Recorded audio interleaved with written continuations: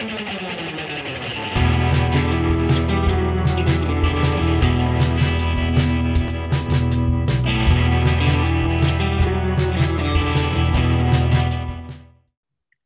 I'm Owen. I'm Jenna. Welcome back to Review Crew. Today we're going to be checking out The Queen's Gambit, which is a uh, limited series on Netflix. Check out the trailer. Men are gonna come along and want to teach you things. Doesn't make them any smarter. You just let them blow by, and you go on ahead and do just what and how you feel like. Someday you're gonna be all alone, so you need to figure out how to take care of yourself. Tell the readers of life how it feels and to be a girl among all those men. I don't mind it. Chess isn't always competitive. Chess can also be beautiful. You're an orphan, Beth. I'm fine being alone. I feel safe in an entire world of just 64 squares. How creativity and psychosis often go hand in hand. Or for that matter, genius and madness. There's no player in the world as gifted as you are. There is one player that scares me Who? the Russian. Don't make me over. He is a world champion. Now that I do anything for you. I'm supposed to go to Russia, but what I want is a drink. I'm worried about you. Don't make me over. Like. What on earth for?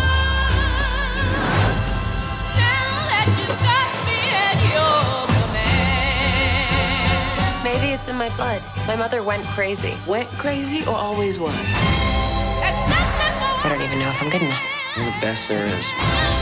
Accept for the things that I do. You've got your gift, Accept for what I am. and you've got what it costs.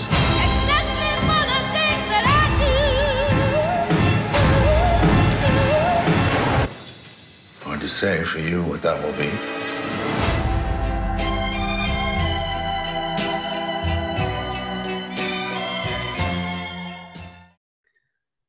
All right, so The Queen's Gambit, I uh, just finished it a little bit ago. It's seven season or seven episodes on Netflix and taking the world by storm. Everybody loves this show. Everybody's watching it right now. Uh, what were some of your first thoughts about it? Yeah, absolutely. Um, I would say it's it's taken the world by storm for good reason. I think it's the most popular Netflix show right now, and one of the most popular Netflix Netflix shows of all time. Um, and I think this is the first. I mean, I've never seen a movie or a TV show about chess. Um, and so this really got me excited because I used to play a lot as a kid and you know summer camps and stuff. And since watching the show, I, I've picked it up again and been playing online, getting my butt whooped uh, by random people online and my little brother. Uh, and I, think it's great that this show is bringing attention to this uh, sport. I mean, you know, centuries old. Uh, but anyway, let's let's get into the show. So Beth Harmon uh, is our protagonist, and she is an orphan. Um, this is obvious early on when you know the first few scenes she's in this orphanage, just hating life. Uh, it's boring. It sucks. These uh, people in charge of her are super mean, won't let her do anything, and chess is her kind of escape as she's in the basement of this orphanage, uh, she comes across Mr. Shaibel, who is a janitor in the orphanage, who takes her under his wing. Um, and he, he's initially a little bit hesitant, but then he becomes kind of a fan favorite, at least one of my favorite characters in the whole series. And I wish they would have come back to his character more uh, after the first episode. Um, but of course, you don't find out uh, about his whereabouts until the very end, um, which in a very heart touching, heart heartwarming scene where he has all of the newspaper clippings on the wall of you know Beth Harmon's uh, greatest triumphs in her career. Um, but this show had a lot of ups and downs, and uh, it was really wild and really enjoyable. Um, and I hope to see. I mean, I'm not sure if we're going to get a season two, uh, but I would I would hope to see something similar to this. What did you think? Well, I agree. I, I don't think we're gonna get a season two because of the way it ended. Like, it kind of seems like she got she made it to the top, so she can't really go much further. So that's why I think we might not get a season two. But if we did, it could focus on like basically what is life after this. So she keep playing chess? Does she decide to do something else? Um, but what I really really enjoyed about this show was that it's it's basically like a one huge long movie. Like it's very much chronologically her life. It starts with her as a like young child, right as she's orphaned. Um, it shows like bits and pieces throughout the series of her relationship with her biological mother, who um, has some problems. She their the father left um, the family, started his own family, and you could tell the mom was definitely like a little crazy and you eventually find out that the mom kills herself with Beth in the car um, and basically just crashes the car and tells Beth to close her eyes, which was like a really crazy moment because you're you basically sitting there thinking like, okay, did she mean to kill Beth as well? Um, and because of like the trauma in her childhood, you can definitely see that reflected in Beth's character throughout the se- like the series.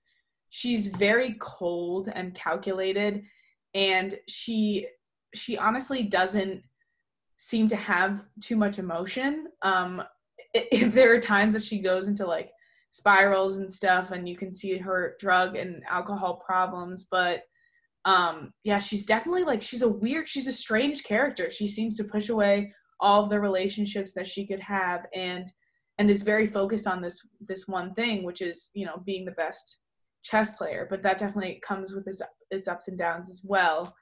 Um but once she starts i mean they they do touch upon the fact that like this is definitely a male dominated game chess. Like there's not any huge um big players that are that are women in the field right now so when she first tries to go and play her first tournament um, they're like, "What you want to play in the women's league?" And she's like, "No, I wanna, I wanna win."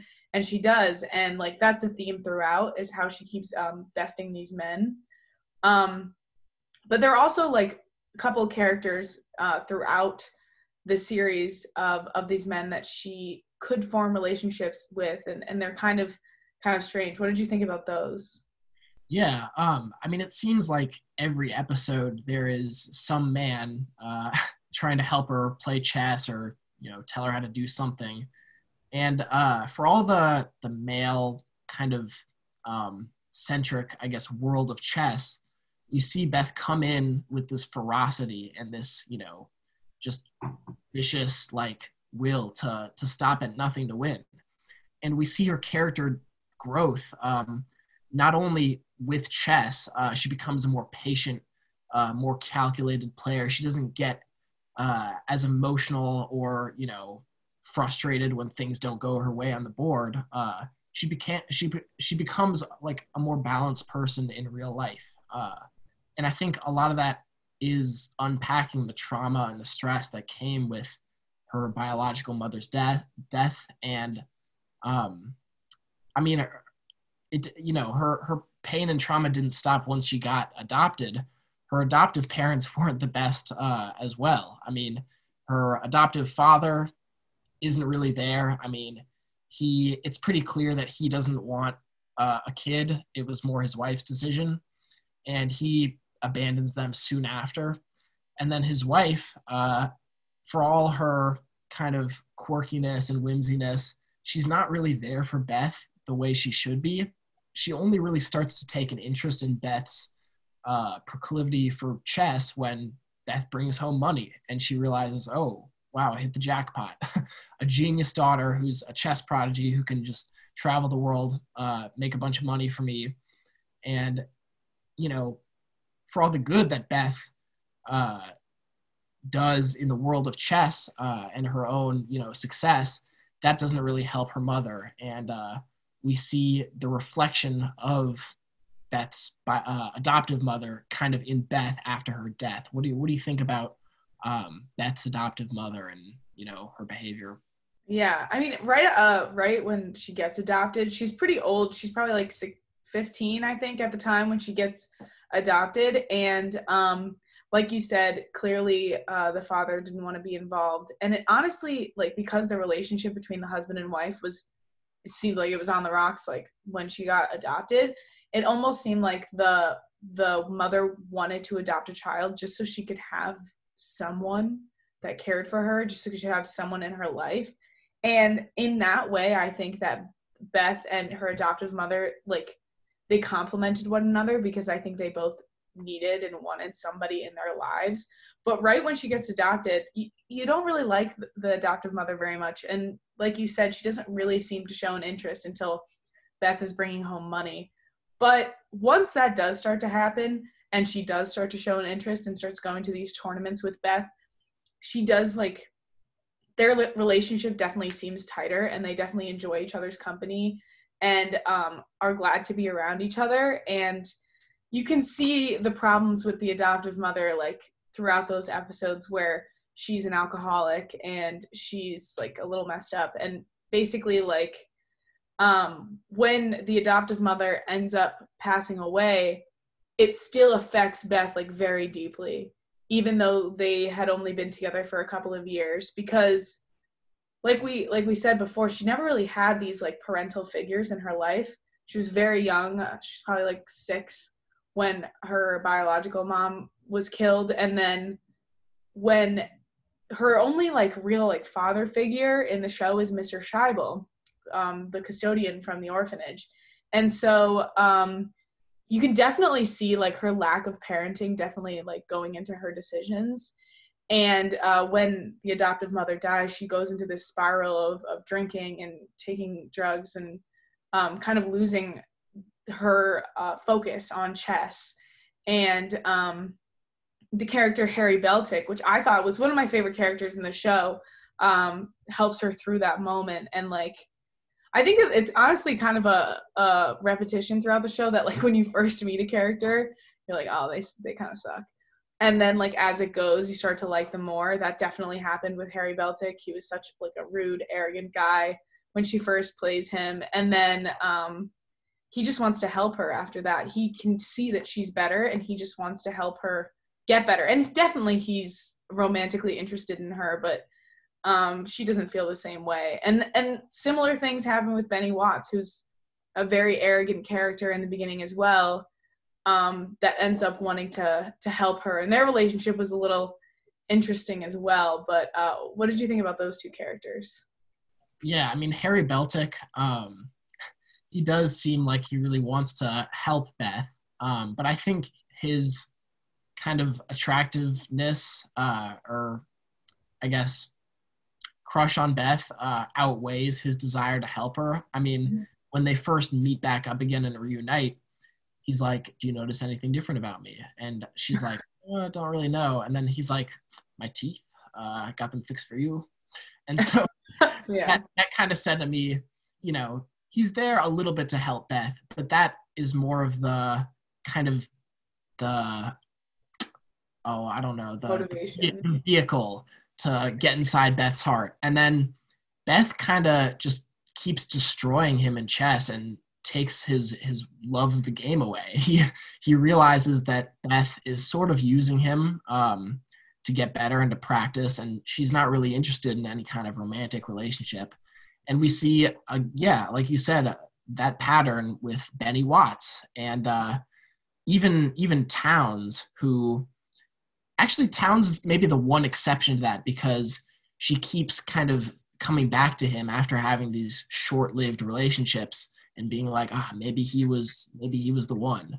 But I like how the men weren't the focus of the the series and the um, kind of message as a whole. Uh, it was more about Beth Harmon. You know, it wasn't just about a woman in chess. It was specifically her story. Mm-hmm. And through all the ups and downs, she eventually triumphed. And like you said, I I would like to see what happens to Beth after she beats um uh after she beats Borgov because he's right now the crown champion, and we we got a little glimpse of the the prodigy kind of uh, characters in this in the series. We saw a Russian kid who was maybe I don't know 12 or 13 um, when Beth played him, and she was like, "Wow, you're the best I've ever played against. What are you gonna? You're gonna be world champion one day. What are you gonna do after that?" And he's like, "I don't understand. What do you mean?" like, Yeah, there's nothing else. It's only chess. yeah, and I think Beth, you know, got a little bit scared because she's like, "What if I'm on that path? What do I care about in my life?" And we didn't really see a kind of conclusion to that um, that sentiment. And so, Mhm. you know, maybe they maybe they will uh, bring out a season two. And I, I know season one was based on a, a book and not really based on any real life character. Kind of a mixture of a bunch of a bunch of different chess prodigies. And uh, I really like the different, you know, cinematography elements they threw into this. The chessboard on the ceiling. Yeah. Uh, the special effects were amazing, and uh, the characters were, you know, filled with depth and and complexity. And uh, yeah, I would really like to see more of Beth Harmon. Quite frankly, I, I really enjoyed this. Yeah, I think um although like you said there wasn't really a, a conclusion at the end of season 1 cuz you're really like okay, you're the best in the world, what comes next? Um you can definitely see an arc of self-improvement. Like she she she really struggles at some points and a lot of it comes from her uh dependence on these drugs that she was literally conditioned to become addicted to in the orphanage because they were basically feeding these girls every single day um, these tranquilizers you find out is what they are.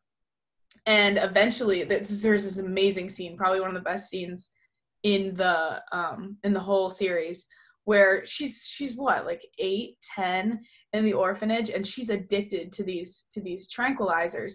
And she uh she'll save them. They give them one a day but she saves them takes the, a couple of them at night and then she basically hallucinates like has these um like you said the the chessboard forms on the ceiling and she's able to like play chess in her mind.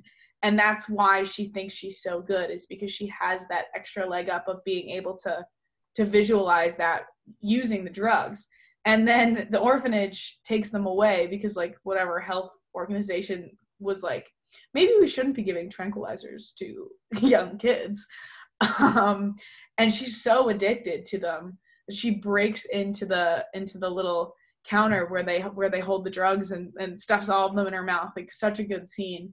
And it doesn't go away after that. Like she continues using these drugs and and finding them um, throughout most of the series until the very end where she's able to beat borgov without them. And i think that like that was like a really a really good arc of, of self-improvement and now she realizes that it's not the drugs that make her so good at the game it's just it's her mind it's she's a prodigy um Yeah. so that was definitely a good storyline yeah, her her self worth um, took a big jump. Uh, and if you contrast the end of episode one versus the end of episode seven, when the whole series ends, you know, episode one she's popping handfuls of pills into her mouth and falling off a chair uh, in the orphanage because she's just lost. And I mean, a lot of the episodes kind of don't stray away from that idea. I mean, she is an alcoholic, a drug addict through the entire series. But then at the very end she beats the world champion without drugs. Mm-hmm. just her brilliant mind. And we see uh, the acceptance of the chess community all these russian guys in the park kind of going oh that's beth harmon. Yeah. Um, yeah like you said fantastic character arc if you had to rate the series out of 10 what would you give it Um, I would have. To, I really enjoyed this series uh, from start to finish. Like I really liked the way it was chronological, and I loved the ending of them in the park, really showing how the public, like these chess lovers in Russia, actually respect the fact that the world champion is a woman. I love that, and and the acting performances were really good throughout. The plot was interesting and different. Um, I would. I would honestly. I think I would give it an eight. I really liked this series. What about you? I think uh, I, I agree with you on all those fronts. And I honestly, the one thing I can say is I wish I saw more of Mr. Shaibel. Um, and maybe a, a few uh, more of the smaller characters like Jolene and even Townes uh, would have been Yeah. interesting to see make appearances more often. But Definitely. uh, I really liked it, really enjoyed it. I would probably give it a nine. All right. Well, that was our review of The Queen's Gambit, and we'll be right back after this break. That's all for this week. If you want to follow more Review Crew content, go to the Review Crew Instagram, Twitter, and TikTok, as well as Orange TV Network on Facebook, Twitter, Snapchat, Instagram, and YouTube. Find the Review Crew's podcast on Spotify or on our website at orangetvnetwork.syr.edu, where you can also find our blog and more OTN information. That's all for this semester. We'll be back next year uh, in January with more reviews. Thank you for sticking with us this semester through all of its ups and downs, and we will see you very soon. Bye.